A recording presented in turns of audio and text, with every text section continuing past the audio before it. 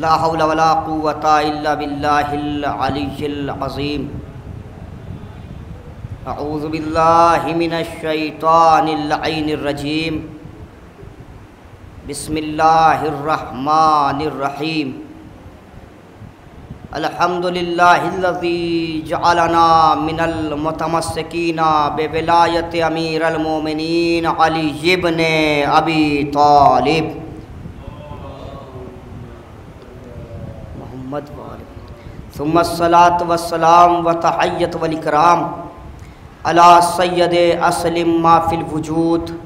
सिर्रिल्लाह फ़ी कुल्ल मौजूद। नुक़्तत दायरतिल वजूद। साहिब लिवाइल हमद वल मकामिल महमूद। अल ख़ातिम लिमा सबक। वल फ़ातिह लिमन गलक। अल मुअलिनिल हक़। बिल हक़ अबिल क़ासिम मोहम्मद।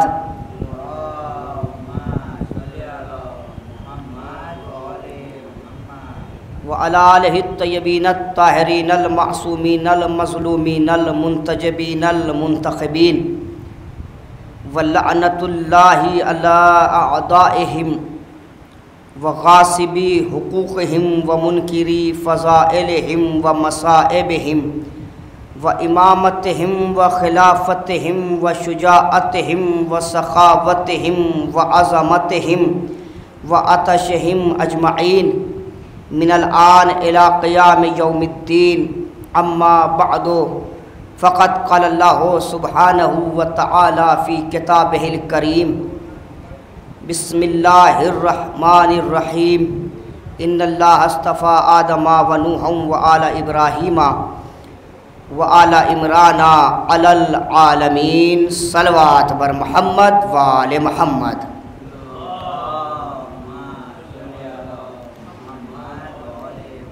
अजीज़न मोहतरम, बुज़ुर्गान मिल्लत, बरदरान ईमानी और मुआज़ तरीन सामिन कराम इस अशर मजालिस की आज की ये छठी मजलिस कि जिसे ख़िताब करने का शरफ़ हासिल हो रहा है। इस अशर मजालिस के लिए जिस आया करीमा को सरनाम सुखन करार दिया है, उस आयत में अल्लाह अपने कुछ चुनिंदा बंदों का ज़िक्र फरमा रहा है। और इरशाद फरमाता है इन हस्तफ़ा आदमा वनू हूँ व आला इब्राहीम व आला इमराना आलमीन. यानी बेशक अल्लाह ने मुस्तफ़ा बनाया, अल्लाह ने चुन लिया, आदम को, नूह को, आले इब्राहीम को और आले इमरान को, आलमीन पर। सबसे पहले मरहले पर अल्लाह ने जिसे चुना, वो जनाब आदम है। और इस आयत के ज़ैल में दूसरे मुस्तफ़ा जनाब नूह हैं। जनाब नू वो नबी हैं कि जिनका नाम तारीख़ में नू नहीं है, बल्कि जिनका असल नाम अब्दुल गफ़्फ़ार या अब्दुलसत्तार है। जनाब नू वो नबी हैं कि जिनका असल नाम अब्दुल गफ़्फ़ार या अब्दुलसत्तार है। लेकिन पूरे कुरान में अल्लाह ने नूह को अब्दुल गफ़्फ़ार कह के याद नहीं किया अब्दुलसत्तार कह के याद नहीं किया। बल्कि अल्लाह ने जब भी इस नबी का तस्करा किया तो नूह कह के याद किया। नाम अब्दुल गफ़्फ़ार और अब्दुलसत्तार था। तो नाम नू कैसे पढ़ा? और अल्लाह को ये नाम इतना पसंद क्यों आया कि उसने अब्दुल गफ़्फ़ार और अब्दुल अब्दुलसत्तार के नाम से याद ही नहीं किया, बल्कि जब भी तस्करा किया तो इसी नूह नाम से तस्करा किया। उसकी वजह यह है कि जनाब नूह की कौम बड़ी ालिम कौम थी। जब ये तबलीग के लिए निकलते थे तो जनाब नूह की कौम उन पर इतने जुल्म करती थी कि ये अपने कौम के जुल्म पर अल्लाह के सामने नौहा पढ़ा करते थे। और जालिम के ख़िलाफ़ मज़लूम का नौहा पढ़ना अल्लाह को इतना पसंद आया कि नाम ही नूह रख दिया। आपने तवज्जो नहीं की। आज लोग कहते हैं, ये आज़ादारी क्या है? ये गिरिया क्या है? ये नौहा क्या है? आज़ादारी बिदत है गिरिया करना बिदत है, आँसू बहाना बिदत है, नौहा पढ़ना बिदत है। अगर नौहा पढ़ना गिरिया करना मजलूम के खिलाफ, जालिम के खिलाफ मजलूम का गिरिया करना और नौहा पढ़ना बिदत होता तो अल्लाह कभी भी अपने नबी को नूह ना कहता। अल्लाह का अपने नबी के अस नाम को छुपाकर और नू नाम रखना इस बात की दलील है कि नौहा पढ़ना नबी की सुन्नत है, अल्लाह की पसंद है। सलवार पढ़े बर मोहम्मद वाल मोहम्मद। थोड़ा सा तमहीद में मैं वक्त लूँगा। जनाब नू, कि जिनका नाम अब्दुल गफ्फार या अब्दुल सत्तार था।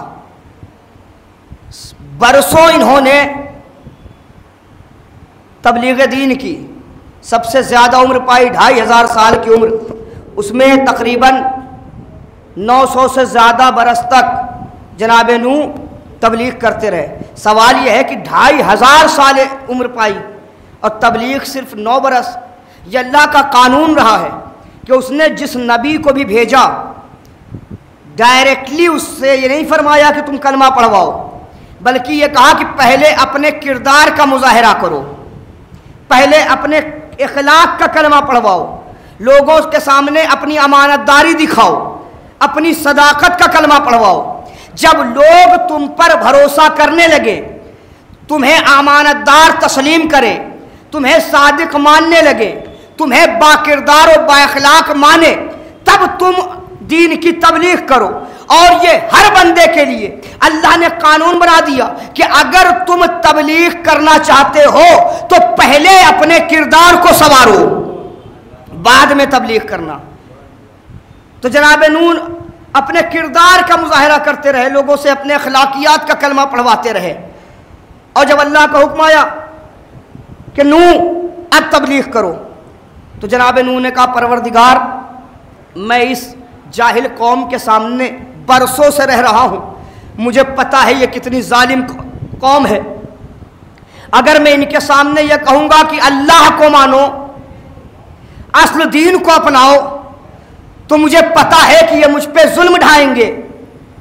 परवरदिगार, तेरे हुक्म से मैं तबलीग तो करना चाहता हूँ, लेकिन मेरी मदद कौन करेगा? मैं तो अकेला हूँ। आवाज़ परवरदिगार आई नू घबराओ नहीं। तबलीग बाद में करना। पहले जनाब इदरीस की पोती, जनाब अमूरा से शादी करो। वो तुम्हारी जौजियत में आएँगी। और जब तुम तबलीग करोगे तो सबसे पहले तुम पर ईमान लाने वाली जनाब अमूरा होंगी। क्या फरमाया अल्लाह ने? पहले तुम शादी करो। अमूरा से, इदरीस की पोती से। वो तबलीग दीन में तुम्हारी मददगार होंगी। इसका मतलब अल्लाह का कानून हमें समझ में आ गया कि वो अपने नबी की मदद किसी न किसी जोजा के ज़रिए से ज़रूर करवाता है। न जाने आप पहुँचे या नहीं पहुँचे। भाई, अल्लाह का कानून बन गया कि वो अपने नबी की मदद किसी न किसी जौजा के ज़रिए से ज़रूर करवाता है। अल्लाह ने जैसे नूह की मदद, अमूरा के ज़रिए से करवाई, वैसे ही मोहम्मद की मदद खदीजा के ज़रिए से करवाए सलवात पढ़े मोहम्मद वाले मोहम्मद।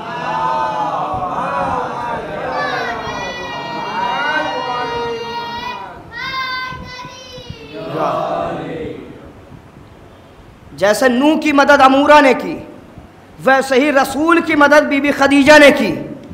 वरना जब इस्लाम आया, इस्लाम की तबलीग हुई तो मुसलमान तो यही कहते रहे कि हम खाएँगे क्या? हमारे पास दौलत ही नहीं है, हमारे पास गुर्बत है। तो खदीजा आगे बढ़ी, जितना माल ले जाना हो ले जाओ, मेरे शौहर का साथ दो। इस्लाम को अपनाओ। और अक्सरियत उसमें ऐसी थी जो दौलत की लालच में इस्लाम को कबूल करने वाली थी।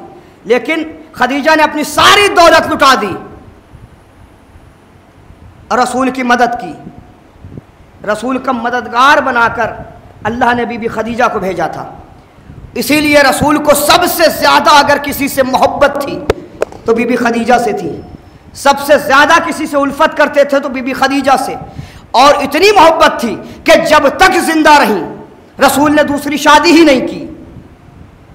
जितनी भी शादियाँ हुई रसूल की, वो सब खदीजा के बाद हुई हैं। बीबी खदीजा की वफात के बाद हुई हैं। जब तक खदीजा ज़िंदा रही, तब तक रसूल खुदा ने खदीजा के अलावा किसी और बीवी से निकाह ही नहीं किया। किसी और को अपनी जौजियत में लाए नहीं। और जब बीबी खदीजा इस दुनिया से रुखसत हो गई, रसूल ने जितनी भी शादियाँ की, उन सब के सामने रसूल सबसे ज़्यादा अगर तस्करा करते थे तो खदीजा का करते थे। खदीजा इतनी अच्छी थी। खदीजा ने मेरे लिए मालो दौलत खर्च की। खदीजा मेरे लिए बेहतरीन शरीक हयात थी। अब ज़ाहिर सी बात है कि जब खदीजा की बात होगी दूसरी अजवाज के सामने तो हर बीबी तो उनमें सलमा थी नहीं। कि जो बर्दाश्त कर जाती उनमें कुछ ऐसी भी थी कि जिन्हें खदीजा के नाम से चिड़ होने लगी। उन्होंने कह दिया, या रसुल्ला ये कैसी बात हुई? खदीजा को गुजरे हुए ज़माना हो गया। अब तो हम आपकी सोजियत में हैं। हमें देखिए, हम जवान भी हैं। हम आपकी सोजियत में हैं। आप जब देखिए खदीजा खदीजा खदीजा करते रहते, हमारा ज़िक्र ही नहीं करते, हमारी तारीफ़ ही नहीं करते। रसूल को एक मरतबा चला लाया रसूल ने कहा, तुम्हें पता नहीं है, तुम्हारी जैसी न जाने कितनी औरतें आ जाए, फिर भी वो खदीजा का मुकाबला नहीं कर सकती। कहा आखिर रसूल खुदा, ये बताइए कि खदीजा में ऐसा क्या था? का मैं क्या बताऊँ? अल्लाह ने मुझसे फरमाया है कि मैंने पूरी कायनात में सबसे बेहतरीन औरतें सिर्फ़ चार बनाई हैं, जिनसे बुलंद कोई बीबी नहीं है। चार औरतें सबसे बुलंद है। का कौन कौन सी? रसूल ने फरमाया, पहली बीबी का नाम है आसिया। दूसरी बीबी का नाम है मरियम। तीसरी बीबी का नाम है खदीजा। और चौथी बीबी का नाम है मेरी बेटी फातिमा जहरा सलाम सुनिएगा। चार औरतें, दुनिया की अजीम तरीन औरतें। जनाब आसिया, जनाब मरियम, बीबी खदीजा और शहजादी कुबरा। सलाम चार औरतें। अब ये चार औरतें हैं कौन? का आसिया फिर की जौजा, मरियम, ईसा की माँ, फातिमा, हसनैन की माँ, खदीजा, फातिमा की माँ। जौजा और भी थी, रसूल की अजवाज और भी थी, लेकिन बेहतरीन औरतों में रसूल की सिर्फ़ एक जोजा को रखा। कौन? जनाब खदीजा, फातिमा की माँ। इसका मतलब अल्लाह खुद बता रहा है, उम्मत की माँ होना और बात है, फातिमा की माँ होना और बात है। सलवात पढ़े बर मोहम्मद वाले मोहम्मद।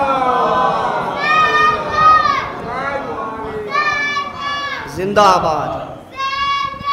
जिंदाबाद। मुर्दाबाद। मुर्दाबाद।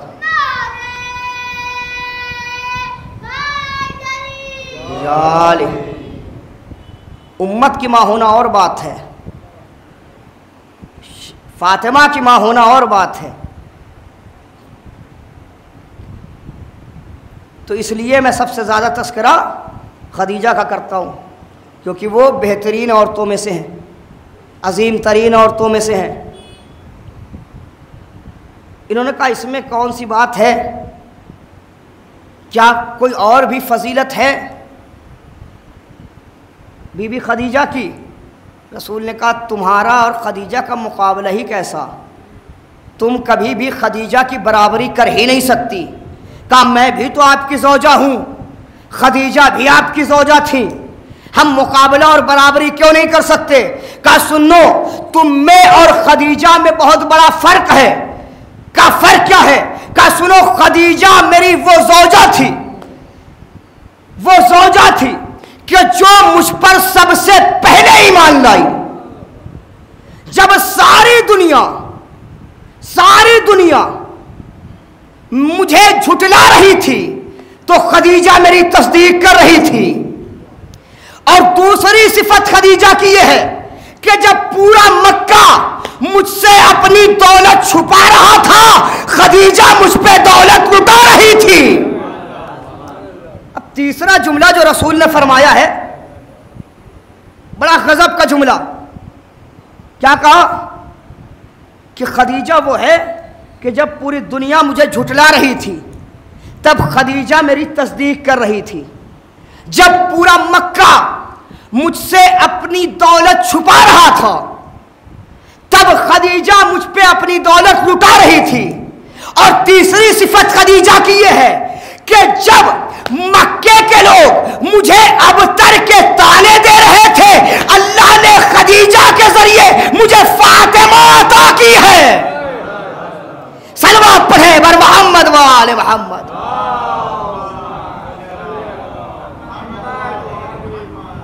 मैं परेशान हो गया था। लोगों के ताने सुन सुन के। अल्लाह ने मुझे कई औलादे दी, लेकिन वापस ले ली। तो लोगों ने मुझे ताने दिए कि आप अबतर हैं, मोहम्मद बे औलाद हैं। माजल्ला नौजुबिल्ला ये अबतर हैं। और उसमें सबसे बड़ा नाम अगर किसी का था, जिसने सबसे पहले अबतर का ताना दिया, वो था आस बिन वैल, जो नबी को सामने कहता था, अरे, ये दीन लेकर आए हैं। ये शरीयत लेकर आए हैं। इनकी तो कोई औलाद ही नहीं। इनका तो कोई वारिस ही नहीं। ये मर जाएँगे, दीन ख़त्म हो जाएगा, शरीयत ख़त्म हो जाएगी। इनके कवानीन तबाह बर्बाद हो जाएँगे, क्योंकि इनकी तो कोई औलाद ही नहीं है। जब औलाद नहीं तो इनका कोई वारिस भी नहीं होगा। इसका मतलब मक्के का काफिर भी जानता था। कि वारिस असाब नहीं होते, औलाद होती है। मक्के का काफिर भी जानता था। ये बे औलाद है, माजल्ला, नौजबिल्ला। रसूल के सामने ताने देता था। रसूल परेशान हो गए। परवरदिगार, मुझे ताने दिए जाते हैं बे औलाद के। जब मुझे बे औलाद के ताने दिए जा रहे थे, तब अल्लाह ने खदीजा के ज़रिए मुझे फातिमा अता की। और ऐलान किया कुरान में, बिस्मिल्लाहिर्रहमानिर्रहीम, इन्ना तैना कल कौसर फ़सल रब का वनहर, इन्ना शान का हो अबतर, मैंने तुम्हें फातिमा अता की। अच्छा अजीब, अजीम शख्सियत है बीबी सलाम की। अल्लाह ने क्या फरमाया? मैंने तुम्हें कौसर अता किया, यानी फातिमा अता की। और दूसरी आयत फ़ौरन कह रही फ़सल बस नमाज़ पढ़िए। फातिमा मिल गई। फातिमा अता कर दिया मैंने। अब नमाज़ पढ़ो। किससे कह रहा है परवरदिगार? गौर किया आपने। किससे कह रहा है? अपने उस हबीब से कह रहा है कि जिससे कभी परवरदिगार ने कहा था ए मेरे हबीब, रातों को कम जागा करो। ए मेरे हबीब, इबादतें कम किया करो। ए मेरे हबीब, रातों को कम जागा करो। मुसल्ले पे कम खड़े हुआ करो। तुम्हारे पैरों में वरम आ जाता है। मुझसे गवारा नहीं होता कि तुम्हारे पैरों में वरम आए। रातों को कम जागो, इबादतें कम करो, नमाजें कम पढ़ो। न जाने कितनी अजमत वाली है बीबी सैयदा कि जब फातिमा अता की तो कहा है, मेरे हबीब, नमाजें पढ़ो। इबादतों में इजाफा करो, नमाज़ पढ़ो। फ़सल नमाज़ पढ़ो। ले रब का अपने रब के लिए। वनहर और कुर्बानी भी दो। क्योंकि मैंने फातिमा जैसी रहमत तुम्हारे घर में नाजिल की है। फातिमा जैसी नेमत मैंने तुम्हें दी है।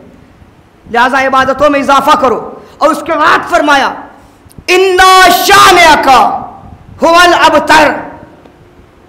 मेरे हबीब लोग कहते हैं, आप अबतर है, माजल्ला। आप माजल्ला बे औलाद हैं। नहीं, मैं कह रहा हूँ, अल्लाह, इन्ना शान का हुवल अबतर। जो आपका दुश्मन है, वो बे औलाद है। जो आपका दुश्मन है, वो बे औलाद है। ताने देते थे मक्के के काफिर के माजल्ला, ये अबतर है। अल्लाह कह रहा है, कुरान में जो आपका दुश्मन है वो बे औलाद है, वो खुद अबतर है। अब आप देखिए तारीख में, रसूल का दुश्मन कौन कौन है? जो जो रसूल का दुश्मन नज़र आएगा, वो अब औलाद होगा। पढ़िए तारीख, सबसे पहले ही ताना देता था आस बिन वैल। आस बिन वैल अबतर कहता था, और उसका बेटा तारीख में मौजूद है, अमर बिन आस। तवज्जो नहीं किया आपने? कुरान कह रहा है, नबी का दुश्मन बे औलाद है। और आस बिन वैल की औलाद मौजूद। अबू लहब नबी का दुश्मन था, तारीख में उसकी भी औलाद है। अबू जहल नबी का दुश्मन था, तारीख में उसकी भी औलाद है। और 1400 साल से लेकर, यानी उस जमाने से लेकर आज तक नबी के दुश्मन हमें ऐसे नज़र आ जाते हैं कि जो होते भी नबी के दुश्मन हैं, लेकिन उनकी औलादें भी मौजूद होती हैं। अजीब बात है, कुरान कह रहा है कि नबी के दुश्मन बे औलाद और तारीख कह रही है कि नबी के दुश्मनों की औलादे हैं। अब या तो कुरान सच कह रहा है, या तारीख सच कह रही है, पता कैसे लगाएँ कि सच्चा कौन है? तो वही बताएगा ना कि जिसे अल्लाह ने कुरान का वारिस बनाकर भेजा। तो सुम्मा और मिन जिन्हें लोगों में से अल्लाह ने चुन लिया है और कुरान का वारिस बनाया है। तो वही बताएगा ना कि सच्चा कौन है और झूठा कौन है? कुरान कह रहा, नबी का दुश्मन बे औलाद। तारीख कर है नबी के और दुश्मनों की औलादे थी। जब हमने कुरान के वारिस अपने दसवें इमाम से पूछा कि, मौला, आप बताइए। किसी चाहने वाले ने पूछा, मौला, ये बताइए, कुरान कह रहा है नबी का दुश्मन बे औलाद? तारीख कर रही है कि नबी के दुश्मनों की औलादे मौजूद थी। मौला ने कहा कुरान कल भी सच्चा था। कुरान आज भी सच्चा है। कुरान कयामत तक सच्चा रहेगा। का फिर मामला क्या है? इमाम ने फरमाया, मामला सिर्फ़ इतना सा है, नबी के दुश्मनों की औलादे होती किसी और की है, कहलाती किसी और।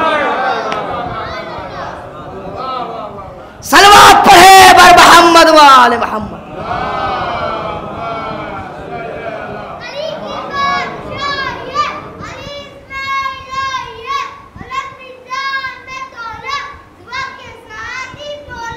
अलीम मौला अलीम मौला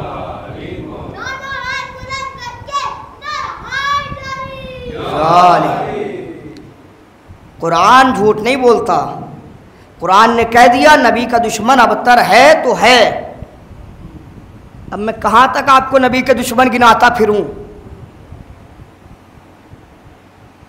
नबी ने ही फरमाया था ना, गदीर के मैदान में अली बल्कि जब माम मौला अली को हाथ में लिया था, तीन दिन की उम्र में तभी फरमा दिया था अली, तेरा दुश्मन मेरा दुश्मन है, मेरा दुश्मन तेरा दुश्मन है। तो सिर्फ़ नबी का दुश्मन बे औलाद नहीं होगा, अली का दुश्मन भी बे औलाद होगा, जहरा का दुश्मन भी रसूल का दुश्मन, हसनैन का दुश्मन भी रसूल का दुश्मन, अली का दुश्मन भी रसूल का दुश्मन।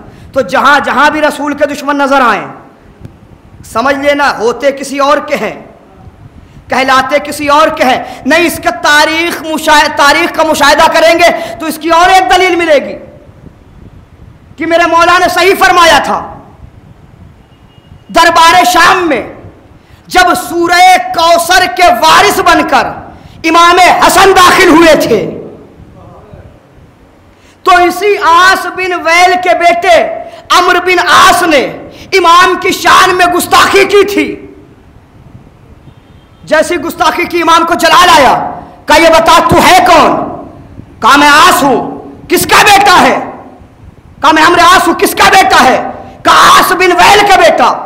का उसी आस बिन वैल का बेटा, जो मेरे नाना को अब तर के ताने दिया करता था। उसी आज बिन वैल का बेटा है। कहा हाँ, मैं उसी आज बिन वैल का बेटा हूँ। कहा, तूने कुरान नहीं पढ़ा? कुरान कह रहा है कि तेरा बाप बे औलाद था। जब तेरा बाप बे औलाद था तो तू कहाँ से आ गया? सलवात पढ़े बर मोहम्मद वाले मोहम्मद।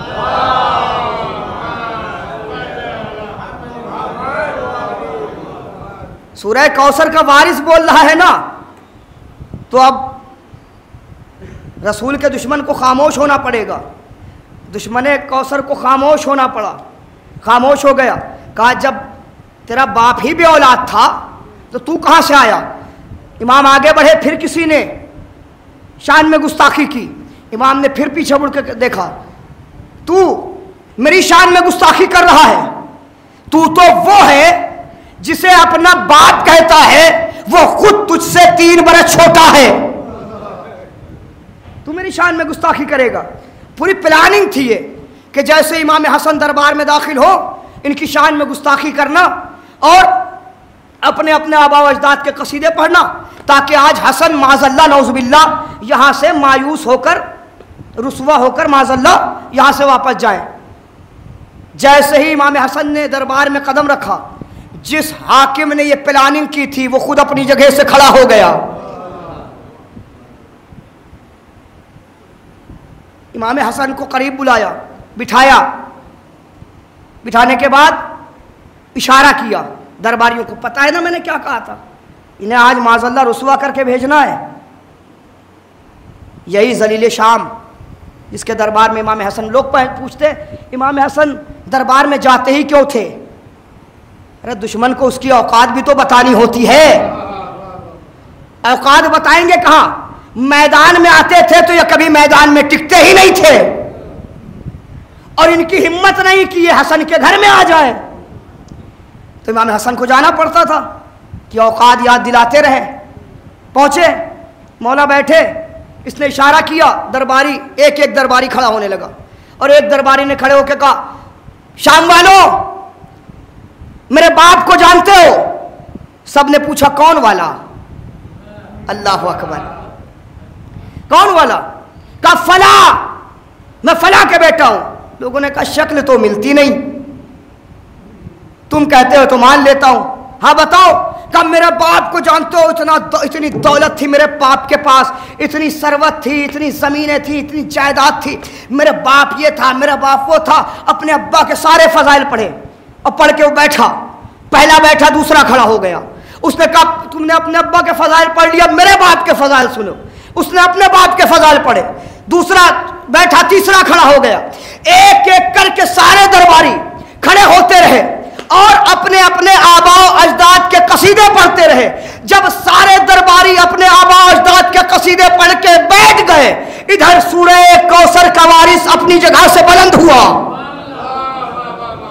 और बुलंद होने के बाद दरबारियों की तरफ़ मुखातब नहीं हुआ, बल्कि पहुँचे जलील शाम के पास। जलील शाम के पास जाके कहते हैं, तू देख रहा है ना, आज तेरे दरबार में, तेरे दरबारियों ने मेरे सामने अपने आबाओ, अजदाद के फजाइल बयान करे हैं। लेकिन सुन, मैं हसन इबन अली आज अपने बाप के फजाइल पढ़ने नहीं आया, क्योंकि मेरे बाप की तलवार की काट से तू अच्छी तरह वाकिफ है।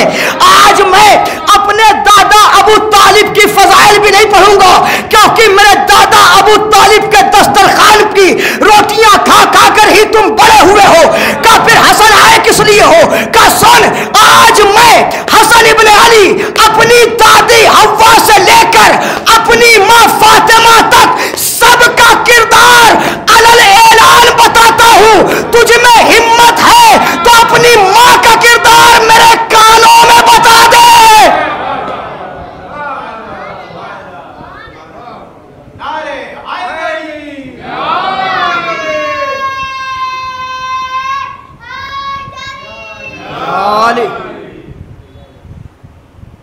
मैं अपनी माँ का किरदार, अपनी दादी हवा से लेकर अपनी माँ फातिमा तक सबका किरदार, अलल ऐलान बता रहा हूँ। हिम्मत है तुझ में तो अपनी माँ का किरदार मेरे कान में बता दे। ये कहता है, हसन, तुमने देखा, मैंने तो कुछ किया ही नहीं। ये दरबारी है मेरे। आप मुझ पर क्यों भड़क रहे हैं? मुझ पर क्यों गुस्सा कर रहे हैं? दरबारियों से कहिए जो कहना है। इमाम हसन मुखातब हुए अब दरबारियों की तरफ़।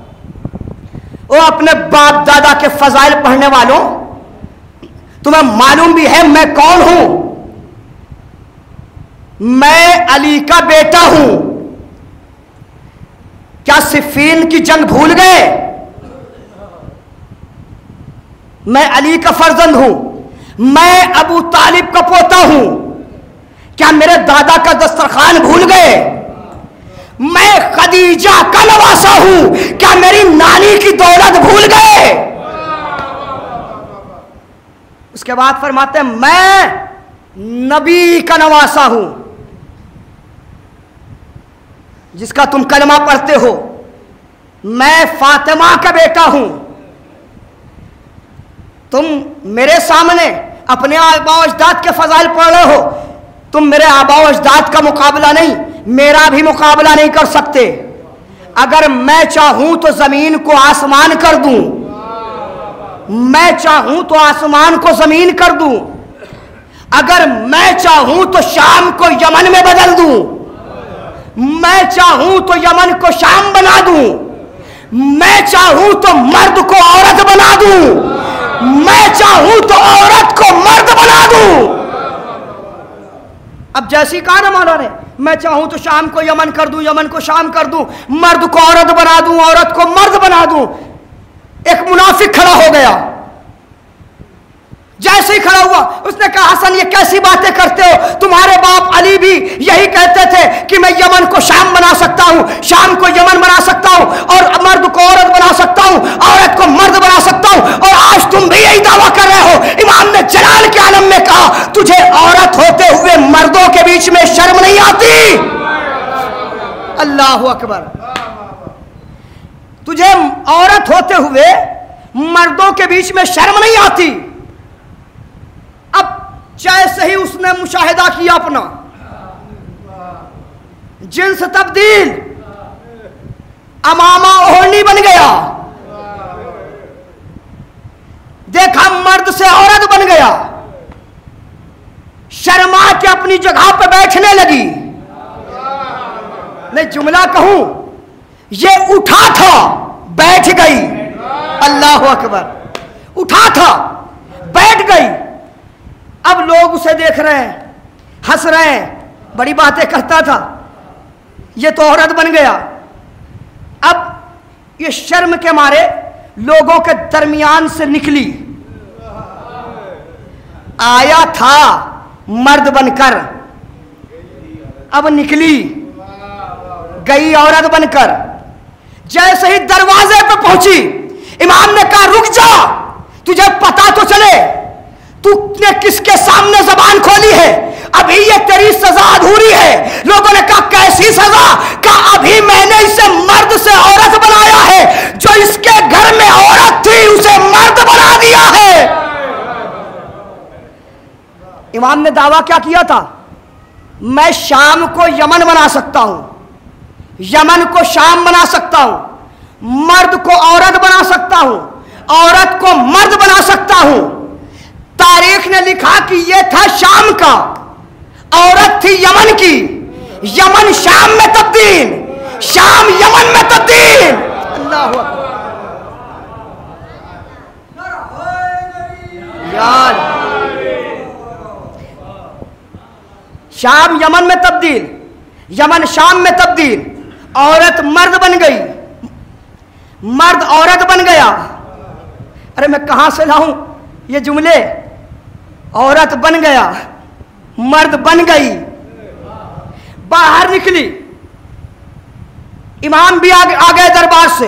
अब लोगों ने इमाम के सामने हाथ जोड़े, मौला, उसने गलती कर दी, माफ़ कर दीजिए।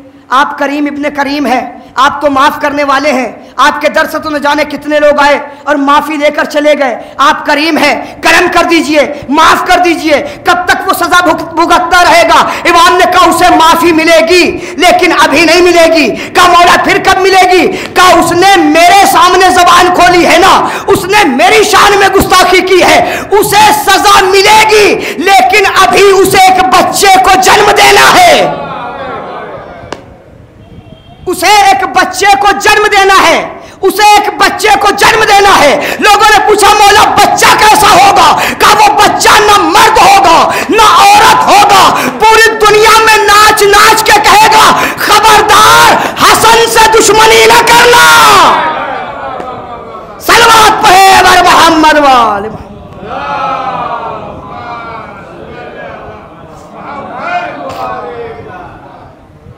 थे इमाम हसन, जो दुश्मन के दरबार में जाकर, दुश्मन को उसी के सामने, उसी के दरबार में जलील करके आते थे।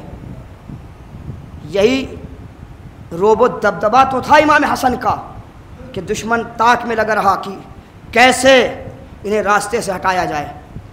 और घर में ही इनकी एक सौजा खुदा लानत करे उस पर, उसके ज़रिए जहर दिलवा दिया। और इतना मजलूम इमाम है ये मेरा कि कायनात का पहला जनाजा है कि जो एक मर्तबा घर से बाहर गया और फिर वापस घर में आ गया हो। वाहिद जनाजा। जब ये जनाजा घर से बाहर गया था तो सफ़ेद कपड़े में, सफ़ेद कफन में, लेकिन जब जनाजा घर के अंदर आया तो कफन सुर्ख हो गया था। जैनब ने देखा, भैया हुसैन, मेरे भाई हसन का क्या हाल है? का मेरी बहना, उम्मत ने मेरे भाई को नाना के पहलू में दफन होने न दिया। तीरों की ऐसी बारिश हुई कि मेरे भैया का कफन सुर्ख हो गया। अजरकुमिल जहरा ये तो जैनब का मुकद्दर है। कि जिसने एक भाई के जनाजे पर तीर देखे हैं, दूसरे भाई का जनाजा तीरों पर देखा है।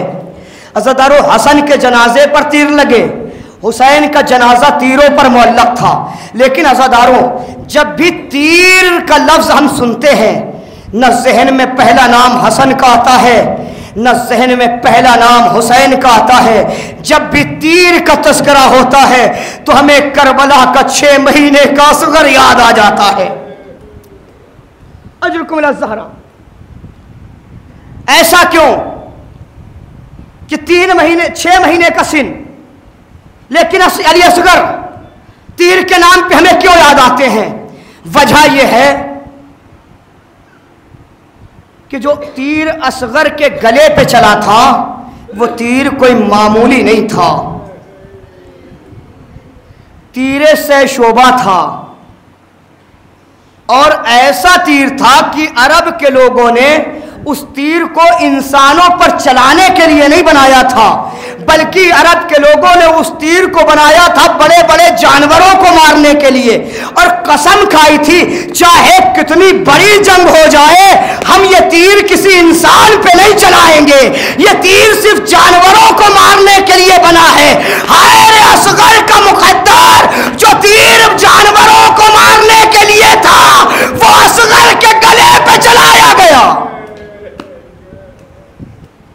तीर से शोभा ऐसा तीर कि जब असगर के गले में लगा है ना तो एक कान से लेकर दूसरे कान तक अली असगर जिबा हो गए, नहर हो गए। बीबी रबाब ने मसायब पढ़ा, अब मिसलु का युनहर या अली असगर? है बेटा अली असगर, क्या तुझ जैसे बेटे भी नहर किए जाते हैं? नहीं, जो छोटे जानवर होते हैं ना, वो जिबा किए जाते हैं। जो बड़े जानवर होते हैं, जैसे ऊट, वो नहर किया जाता है। बड़ा जानवर है, उसे जिबा नहीं किया जाता, बल्कि एक कान से लेकर दूसरे कान तक छुरी चलाई जाती है। बीबी ने कहा, है बेटा, मैंने तो यही सुना है कि छोटे जानवर जिबा किए जाते हैं, बड़े जानवर नहर किए जाते हैं। अरे, मैं क्या देख रही हूँ? तेरा एक कान से लेकर दूसरे कान तक जख्म है क्या तुझ जैसे बेटे भी बच्चे भी नहर किए जाते हैं अजरुकुम जहरा बस एक रवायत सुन लीजिए। और रोते हुए इंशाला घरों को जाएँगे। एक रवायत बस सुन लीजिए। ग्यारह मुहर्रम को जब यह काफिला जाने लगा, कैद होकर तो ये वो शहीद है जनाब असगर, कि जिसकी कब्र इमाम हुसैन ने अपनी ज़िंदगी में बनाई थी। लेकिन लहीनों से ये भी बर्दाश्त न हुआ। तो एक नेज़े की अनी से इस छोटे से बच्चे की लाश को निकाला गया और सर काट के जुदा कर दिया गया। और छोटे से बदन को वहीं पे छोड़ दिया गया।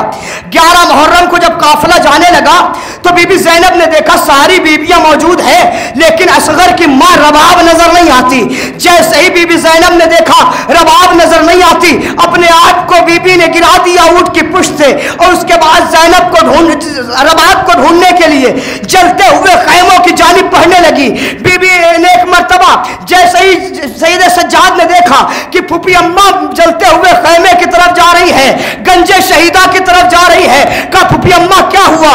कब बेटा तुम्हारी माँ रबाब नज़र नहीं आ रही? मैं रबाब को ढूँढने जा रही हूँ। अजदारो सुनिएगा कि जब जैनब रबाब को ढूंढते ढूंढते, करबला के मैदान में पहुँची है ना? गंजे शहीदा के करीब पहुँची तो जैनब ने एक मंजर देखा। जैनब अपनी जगह रुक गई। क्या देखती है कि रबाब, अरे मैदान करबला में घूम घूम कर कुछ तलाश कर रही है। तलाश करते करते एक मरतबा रबाब ने कोई शय अपने हाथों में उठाई। मैंने देखा कि वो कोई और शय न थी, बल्कि किसी छोटे से बच्चे का बदन था, जिसके बदन से सर जुदा कर दिया गया था। उस छोटे से लाशे को लेकर रबाब निकली, गंजे शहीदा तक पहुँची। देखा कि लाशें बिखरी हुई है। एक मरतबा रबाब ने लाशों से लाशें हटाते हुए एक लाश का इंतखाब किया। वो किसी और की लाश नहीं थी, बल्कि उस लाश के सीने पे बहुत बड़ा जख्म लगा हुआ था। अरे न जाने ये किसकी लाश थी। जैनब ने करीब जाकर देखा तो ये अकबर की लाश थी, जिसके करीब रबाब जाकर खड़ी हो गई। असगर का छोटा सा बदन अपने हाथों में लिया। लेने के बाद अकबर के पहलू में असगर को लिटा दिया और अकबर का हाथ असगर के सीने पे रखा। एक जुमला कहा अरे मेरे लाल अकबर ये तेरा छोटा भाई है हम जा रहे हैं असगर का ख्याल रखना मेरे लाल असगर को अकेले सोने की आदत नहीं। अपने छोटे भैया का ख्याल रखना। सयालमुल्लज़ीन ज़लमुय्यमुनक़लिबियन क़लबून इन्ना लिल्लाहि व इन्ना राजिऊन। रज़म बिक़ज़ाइहि व तस्लीमन लिअमरिह। परवरदिगार जो वास्ता मोहम्मद वाले मोहम्मद का, हमारी इस मुख्तसर सी इबादत को कबूल फरमा। परवरदिगार जो वास्ता मोहम्मद वाले मोहम्मद का, हम में से जो परेशान हाल है, उनकी परेशानियों को दूर फरमा। परवरदिगार जो वास्ता मोहम्मद वाले मोहम्मद का, जहाँ कहीं भी शान हैदर करार है, उनकी जान, माल, इज़्ज़त, आबरू, नामूस की हिफाजत फरमा। परवरदिगार जो वास्ता मोहम्मद वाले मोहम्मद का, इस फ़र्श अज़ा के हकीकी वारिस, इमाम ज़माना के ज़हूर में ताजील फरमा। हम सबको उनका आवान अनसार शुमार फरमा। रबना तकब्बल मिन्ना इन कंत समीम मातम हुसैन।